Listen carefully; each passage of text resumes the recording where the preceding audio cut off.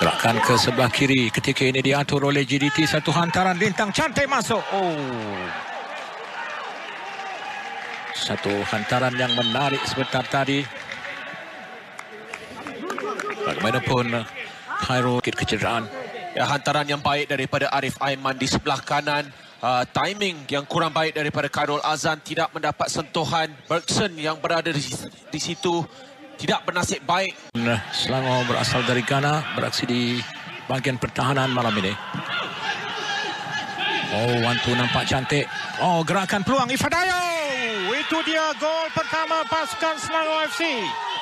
Satu build up yang nampak sedikit teratur. One touch, two touch football nampaknya dimainkan oleh barisan depan pasukan Selangor ni.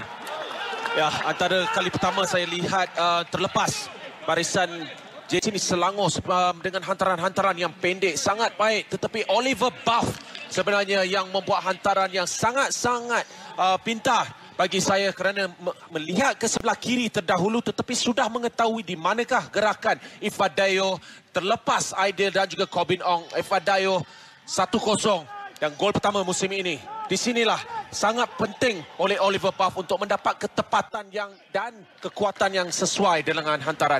Jadi dua pemain tengah pasukan Selangor Oliver Buff dan juga Alif Haikal Lokman menggerakkan umpanan.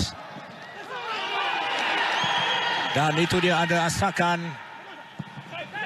Oh satu percubaan. Lihat insiden tersebut satu hantaran daripada Matthew Davis tidak dikeluarkan dengan baik oleh Syami Safari um, saya setuju dengan pengadil. Selepas itu Cabrera mempunyai ruang yang sikit untuk cuba mencari bahagian kiri Khairul Azan. Sentuhan pertama, kedua. Tetapi gerakannya. Satu antaran cantik ke sebelah tepi. JDT menyerang dari sebelah kanan ketika ini. Peluang di sana bagaimana? Satu rematan cantik. Oh! sungguh kencang percubaan yang dilakukan oleh Maxon Gustavo da Silva. Gol pribadinya yang kedua. Tertewas Khairul Azhan Muhammad Khalid. Perhatikan bagaimana satu serangan mantap yang dicetuskan dari hantaran tengah tadi. Maxon Gustavo da Silva memulakan umpanan awal. Ya, uh, gandingan di antara Cabrera dan juga Bergson sangat-sangat baik. Di awalnya Bergson yang dapat menahan bola dengan baik, kawalan yang baik. Selepas itu Cabrera menunggu lariannya kembali dan Bergson dengan kaki kiri. Sangat-sangat mantap rembatan tersebut. Ia rendah dan... Counter dilakukan oleh JDT di sana. Satu gerakan menarik masuk ke bahagian dalam. Peluang untuk melakukan percubaan. Oh. Gerak. Gerakan Oliver Bauf ketika ini. Tolakkan ke dalam Syahril peluang. Namun dia sudah pun dikesan offside. Syahril Fikri. Asak di sana. Gerakan terlepas di sebelah tepi ketika ini. Oh. Satu saya yang um, paling besar adalah daripada Arif Aiman untuk mencari Bergson di sebelah kiri. Uh, walaupun diberi tekanan uh, dan Bergson sebenarnya saya rasa pada mulanya beliau ingin melakukan uh, percubaan untuk menjaringkan gol. Tetapi Cabrera nampak ada ruang. Semula oleh pasukan JDT cantik umpanan itu. Antaran ke tengah nampak oh dami yang baik. Peluang untuk pasukan JDT masih lagi dalam permainan.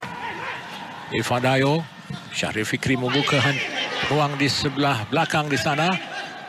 Satu percubaan terus. Oh, umpanan cantik ke sebelah tepi untuk Arif Aiman. Arif Aiman ketika ini dibayangi dua pemain lawan. Arif, oh cantik mengawal dan satu tackle. Aidil Aiman di Arif Aiman dikasari di sana. Sepakan penalti untuk pasukan JDT. Satu skill yang baik ditunjukkan oleh Arif Aiman menyaksikan benteng pertahanan pasukan Selangor perlu bertindak keras ke atasnya.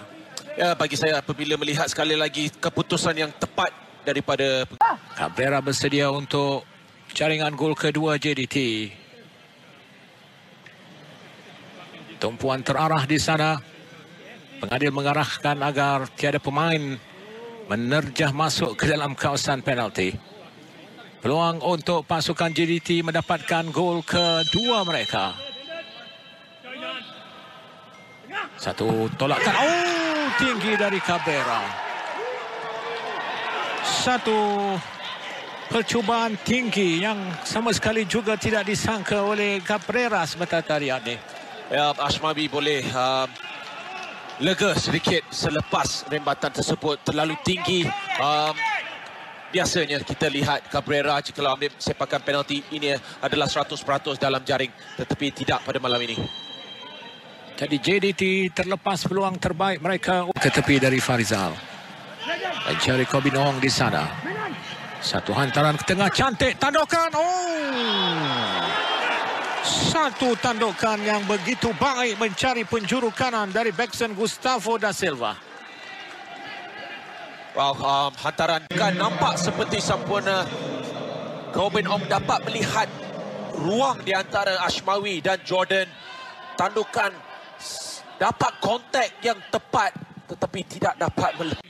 Bagaimana dari Baxton? Oh, diselamatkan. Karol Azhan menyelamatkan pintu gol pasukan Selangor. Baxton kelihatan teragak-agak tadi mengambil sepakan itu. Ya, um, saya rasa apabila beliau musim 2015 dan ini adalah sepakan penalti yang diselamatkan oleh Khairul Azhan. Ya, um, di sini terlalu banyak pergerakan berhenti uh, sebelum itu dia ke depan